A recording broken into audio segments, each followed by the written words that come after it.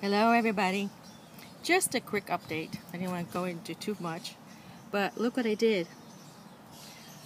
With this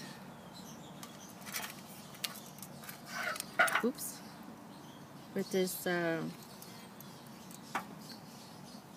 flat razor I just peeled it right off.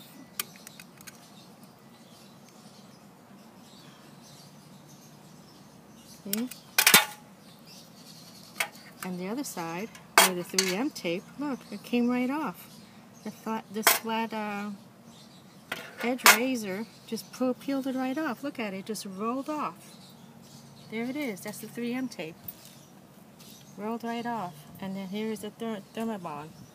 I pulled it off. Look, gum coming off. It was so sticky. Now I just have to get this other stuff off. But this side came off real good.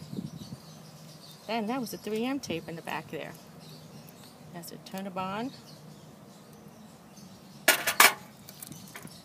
The Thermabond is like gum. But just telling you, I don't know if I'm going to trust to tape up the 3M that I have there or now because look what happened here to this one. That's the that's the 3M VHB tape. Came right off.